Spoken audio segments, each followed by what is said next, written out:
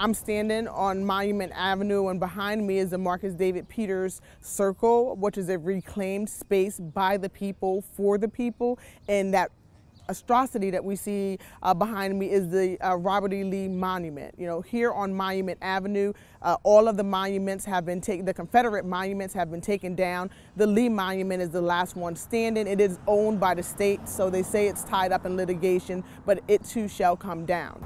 There are well over 50 memorials out here of you know and, and the sad thing is that it's continuously increasing you know. This year alone we had donovan lynch we have xzavier hill we have mrs hill and her three month old who were all unjustly taken away from us whether it was community violence or violence at the hands of those who are supposed to protect and serve. And so this space is important um, because to this day, we're still fighting to occupy it. Um, you know, to this day, we cannot physically go within the circle anymore because Ralph Northam, governor, temporary governor Ralph Northam, made the decision to put the fence up, as he said, to keep people safe. But it was a way to keep us divided and to stop us from congregating in a very liberated, inclusive uh, manner, from taking care of each other. As when we come out here, we feed each other. You know, we take care of each other's needs. And we did have the opportunity yesterday to celebrate the uh, three year anniversary of my brother Marcus David Peters, marking three years since he was unjustly murdered. But, you know, within that circle, so much positive has taken place. And when we start talking, uh, you know, about racism, you know, we must look at the systems that perpetuate it, right? The systems that serve as a barrier to move us, to prevent us from moving towards an anti-racist society. And the move to put up that fence is absolutely one of those gestures. But what we do know is that we, the people, have more power than the people in power. So many of us say, well, the governor this or the mayor this. Why are we waiting for them? Why are we waiting for them to be the peacekeepers and to say, oh, now, you know, they deserve X, Y, and Z? Do we need to wait another 400 years? Because I'm tired already, and I'm not even 40 years old. I am tired already, you know, and the work itself is tiring. It is emotionally draining. But if not me, then who? If not us, then who? And I refuse to passively sit knowing that my beautiful daughters, who are my heart, they are my reason why, that the pigmentation of their skin can cause them to not be with me anymore. That alone, the pigmentation of our black and brown kids' skin is a death sentence. And that's the reality. Those are the conversations that we have to talk about, you know. And by for even as black people, it's so easy. It's more comfortable for us to not talk about it. When we face these realities and these pains head on, you know, that's when our power really comes into place. You cannot have these conversations. See, it's easy to watch, you know, the murder of Trayvon Martin, you know, on online and say, well, he don't live here. You know, George Floyd, he don't live here. That's a shame that that happened. But we have it happening in our own backyard. We have it happening in our own backyard. Our elected officials acknowledge what they can't touch, but they refuse to acknowledge what they have the ability to address. And we must start holding our elected officials accountable. I am a veteran educator. Um, I have I currently serve as a middle school science teacher. So I've taught eighth grade physical science. I'm currently teaching sixth grade science. And I also have served as an assistant principal for six years uh, at the elementary school level and at the high school level. Um, as far as do I consider that line of work to be anti-racism, I have an opportunity as an educator. Um, and as an educator, whether uh, you know it's Black History Month or not, I will continue to always talk, you know, about inclusion with our students, um, about diversity, and the importance of accepting people for who they are right? Um, and so I'm thankful that I pers- I work uh, at a school division that we talk about racism. We talk about racism as being a public health crisis, uh, and we we as educators are encouraged to have these conversations. Um, so I do, I am thankful for that opportunity to be a part of the push, you know, for anti-racism. Um, outside of my paid job, I am the co-founder of Justice and Reformation, which was started, an organization that was started after the unjust murder of my brother. Marcus David Peters in 2018. Uh, he was murdered on May 14th, 2018, after he had a mental health crisis. Uh, he was completely unarmed, completely undressed uh, at the time of his, of his murder. I am also running for governor here in Virginia, and my run is interesting because I I think I have a pretty boring life, uh, and I enjoy the simplicity of my life. I live in Middle Peninsula, very rural area. I have six ducks, I have a dog, I have three kids, and I have a beautiful garden. And those things make me really, really happy. However, you know, I believe that we must be intentional and make sure that we're not allowing our stuff to stay in a bubble and say, well, I'm okay, my family's okay, when other people are not okay.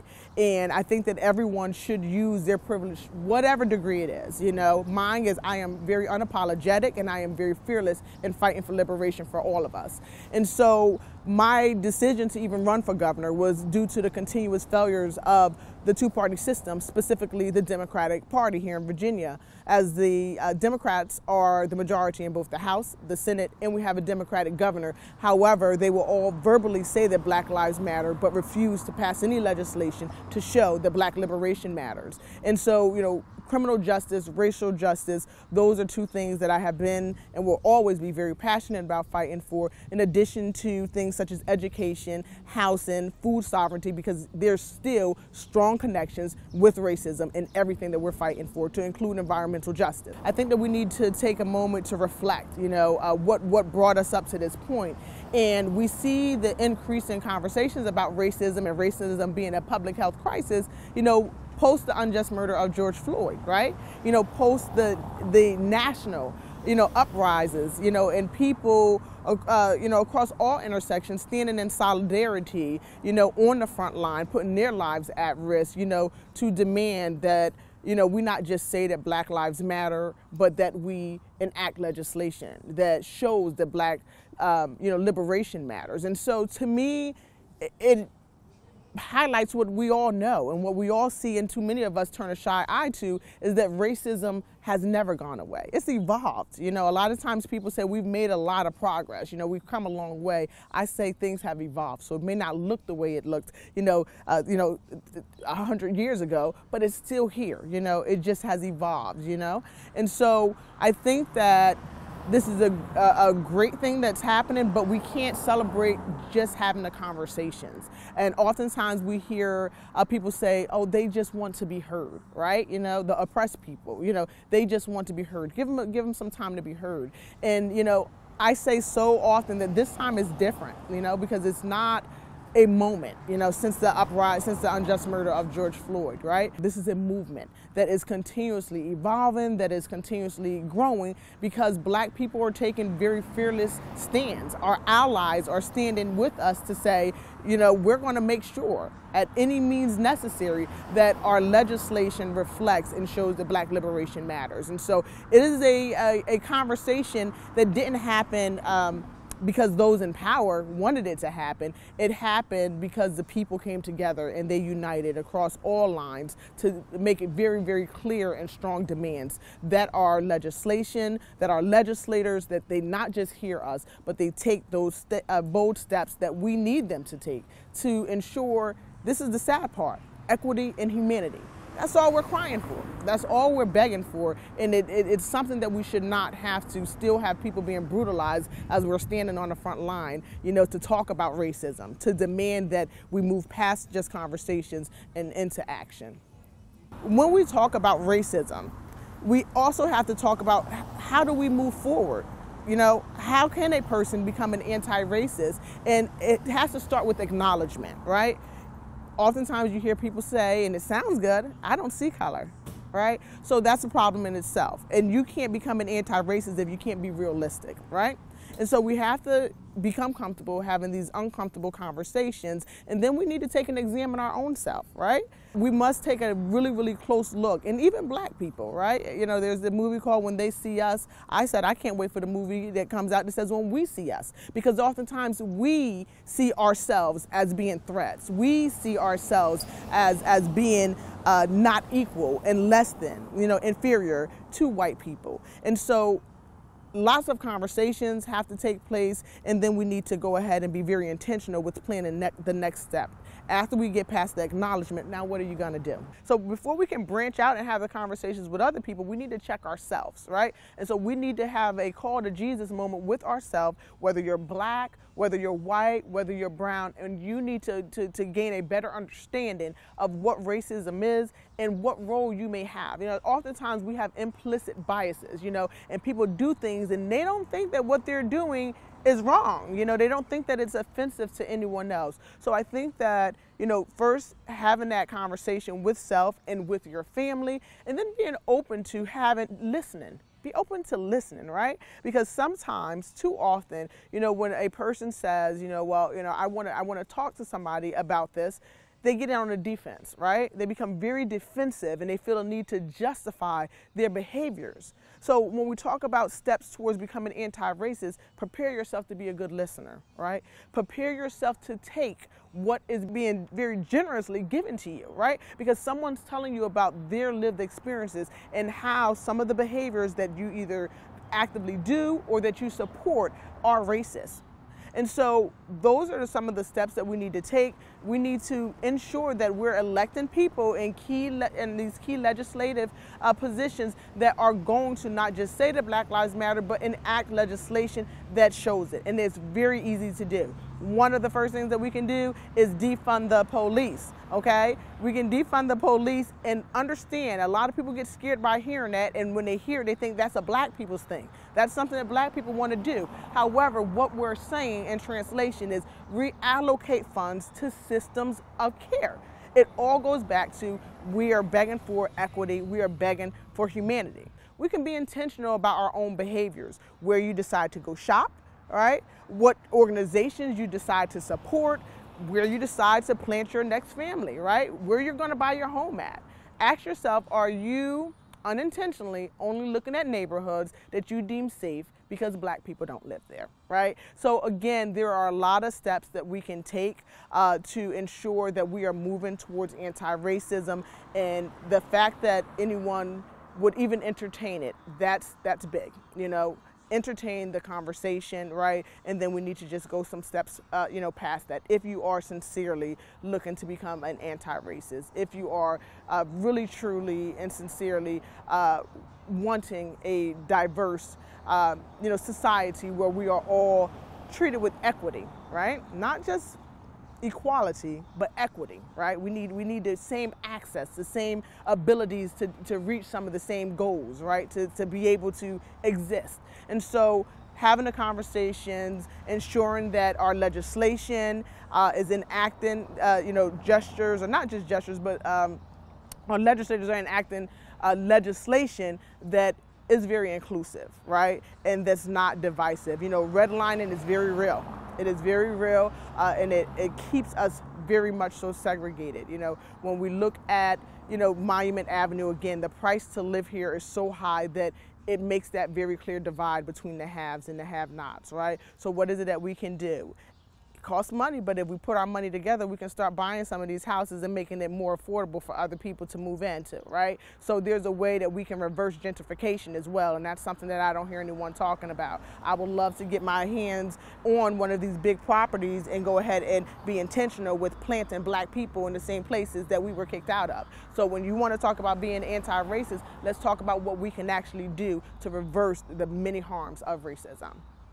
So I don't feel that the work uh, of, of anti-racism will ever be done. But it's not something that we can't give up on. It's not something that, you know, we can take a passive, uh, you know, or a reactionary approach to. I think that we have to be intentional with our actions. I think we need to be very proactive one step in doing that is all kids legally have to go to school, right? And so our schools can be, and they should be, you know, our first line of defense in addressing this we have to start by history lessons, right? You know, and, and you know, our school systems are are and were created when black people were not even considered human, right? We were not considered the equals, you know, very openly of white people. So when we look at history and the, the lessons that are taught, there's a lot of miseducation taking place in our schools, but we very intentionally skirt talking about racism, right? So the school division that I work for, we have something called community circles, right? Which is required at the beginning of the day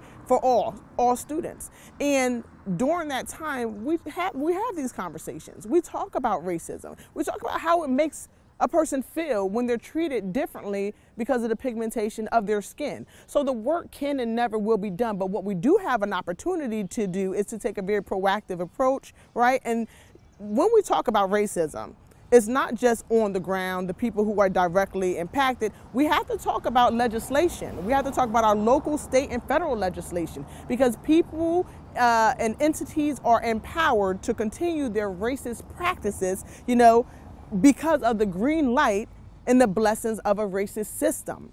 Okay, systemic racism is very, very real. Whether we're talking about the inability of a family to uh, uh, gain residence in an area such as this monument area that I'm standing at right now here in Richmond, Virginia, you know, or if we're talking about, you know, uh, you know, schools and how some of our schools are, you know, it, there's a clear divide because we have our private schools that get, uh, you know, uh, clear funding from the state, while we have our public schools that are in our most marginalized communities that don't even have air conditioning in the summertime or the textbooks are so outdated, right?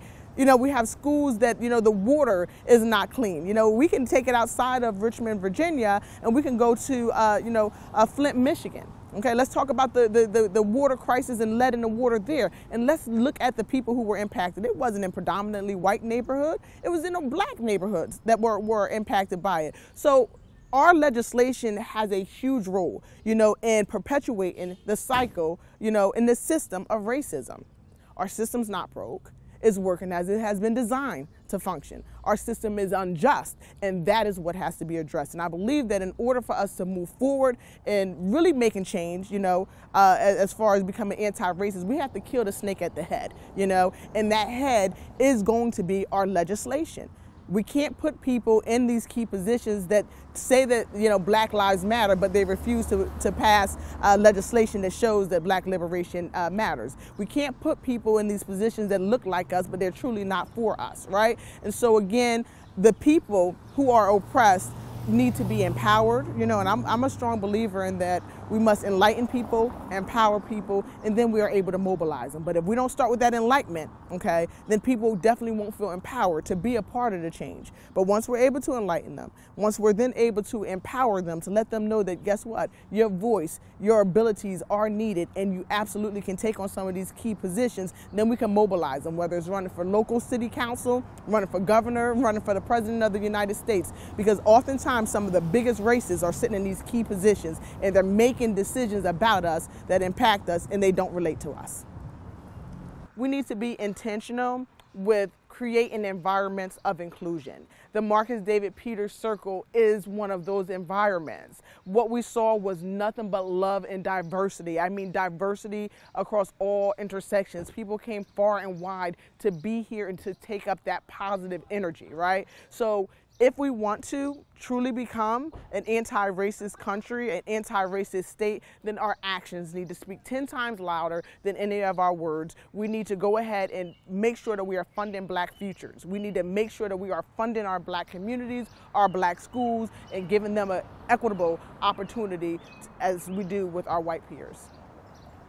I think one of the things that I'm most proud of is I don't want to say my, but our, because this is not a one person show. It will never be, you know. But have, being able to be one of the voices of the unheard. Uh, because so often it is the poor people, black people, our most marginalized communities, that vo- our voices, our concerns, and our needs are never addressed being able to have the opportunity to host events that are intentional, that bring people together. You know, I hear people say all the time, I just had some amazing conversations, you know, with people that we probably would never ordinarily have conversations, you know, with. So when we talk about being anti-racist, right, that's, that's you know, kind of pushing the envelope some to you know force people to step outside of their comfort zone you know to be around people that maybe you were uncomfortable with being around because of the pigmentation of the skin so that we can now go past that so that you can find the humanity in that individual. So you know being able to uh, bring people together uh, you know as unity and humanity is, is what we're fighting for. And that's also very sad to me is that we have to put in so much energy, you know, that we have to continuously, it's kind of like black people are put in positions where we have to be educators, you know, we have to educate people and people feel that that's a part of our responsibility to tell them about racism and how they their behaviors are racist, you know. Um, and so we're fighting for humanity and equity to just be able to survive. And I think that that's that's what hurts with all of this work. You know, eh, white people don't have to fight for that, right? You know, but as a minority, th- these are our everyday struggles. And by us not fighting for it, it affects us in housing, in employment, and equal pay, you know, and access to healthy foods, you know, uh, as, you know, just from an education from A to Z. And so I'm thankful that, you know, I, some way or another, find the energy to do what I do, but I feel that anything worth having is worth fighting very hard for, you know? Um, and the only battle lost is the one that we never fight, and I'm here for it.